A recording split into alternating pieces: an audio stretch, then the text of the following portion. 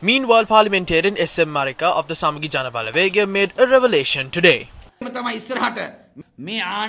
The people are ready to chase away this government, but we are not in a hurry to do that. We are not ready to obtain the power by changing the headcounts in the house or by carrying out any conspiracies. We don't want to deceive our people in that manner. We don't believe in such politics. We only obtain the power through an election. That is a democratic way of doing it. By next August, this government will split into three factions. More than 50 members of the government, who Basil Rajapaksa adored as his allies, will change their side.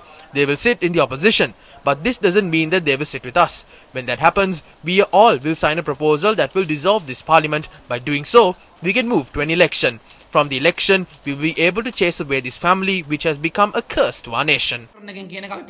Meanwhile, parliamentarian Buddhika Patirana also made a revelation about a corrupt deal at a media briefing today.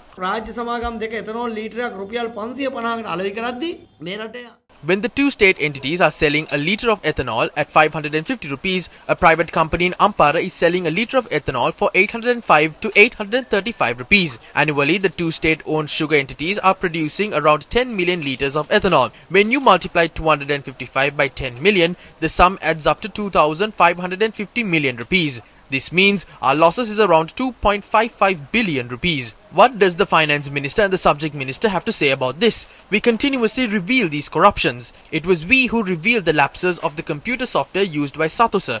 We also raised our concerns on giving out data in the Justice Ministry software to Malaysia. We raised queries on the sticker used in the alcohol bottle. Despite our queries, the government continued to remain silent on these issues.